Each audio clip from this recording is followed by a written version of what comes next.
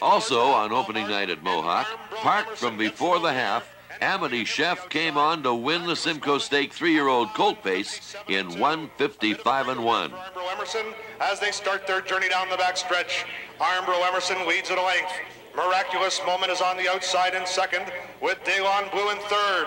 Amity Chef picks up that live cover on the outside in fourth.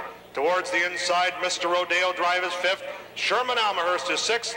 And Secret Escape is seventh. And Armbro Emerson leads after three quarters of a mile in 126 and three. On the outside, Miraculous Moment second. Here comes Campbell, three wide with Amity Chef as they move over to the top of the stretch. Armbro Emerson towards the inside. In between horses, Miraculous Moment and Amity Chef on the far outside. And they're on their way home.